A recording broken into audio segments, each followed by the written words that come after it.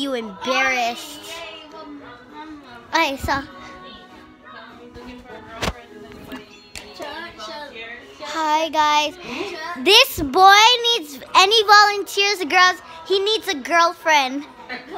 He needs a girlfriend. Any volunteers? The one that has their own place, 913 Delphi Avenue. Come here for this boy. He needs a girlfriend. Yana needs one. Yana needs a boyfriend. No, I don't. No, you do. I'm fine with my family like this. My family could be my boy boyfriend. He needs a girlfriend, you guys. He really does.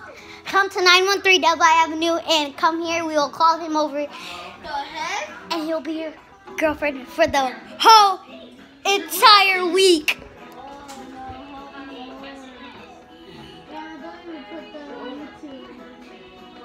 Kiss him. Okay, so I'm gonna be to my grandma's soon.